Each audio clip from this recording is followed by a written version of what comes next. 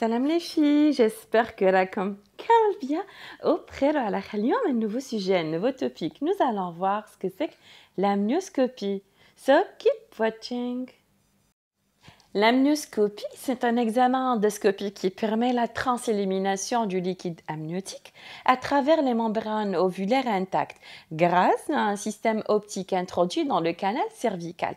L'examen s'effectue soit en début de travail pour dépister une souffrance fétale ou bien en fin de grossesse.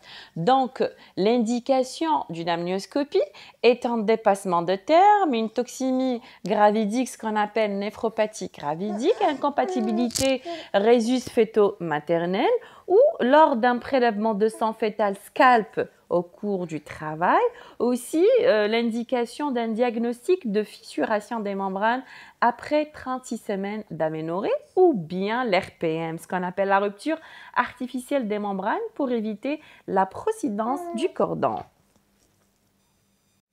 La contre-indication d'une amnioscopie, eh ben, c'est l'infection vaginale euh, qui risque de, euh, de s'aggraver ainsi et aussi risque de toucher le fœtus.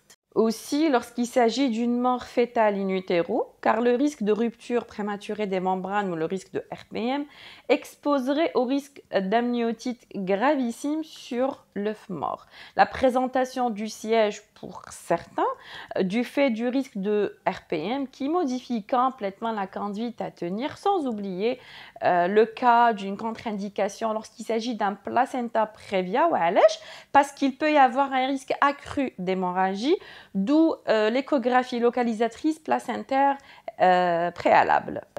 Donc la technique d'amnioscopie, elle se fait en milieu obstétrical, donc euh, en gynécologie, chez une femme en position gynécologique ou bien détendue, en lui expliquant que l'examen il est absolument indolore.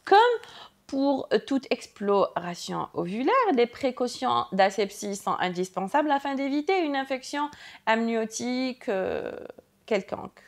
Donc, le lavage des mains est euh, ganté stérilement.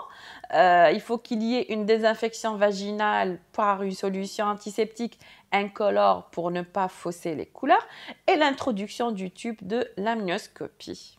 Toutefois, le guidage, il se fait avec spéculum euh, à lèche parce que le col est tellement postérieur qu'il en vaut mieux le repérer avec un spéculum. Donc le col, il est facilement cathétisable sous contrôle de la vue et le spéculum est ôté quand l'amnioscope est en place. Passons à l'interprétation.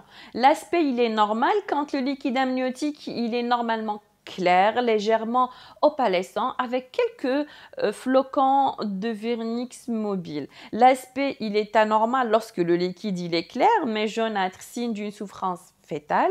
Chronique ancienne, lorsqu'il s'agit d'une incompatibilité résus, il est vert et épais, signe d'une émission de méconium plus récente, donc euh, qui il nous donne une souffrance fétale est bien rougeâtre lorsque euh, il y a une mort et une utéro.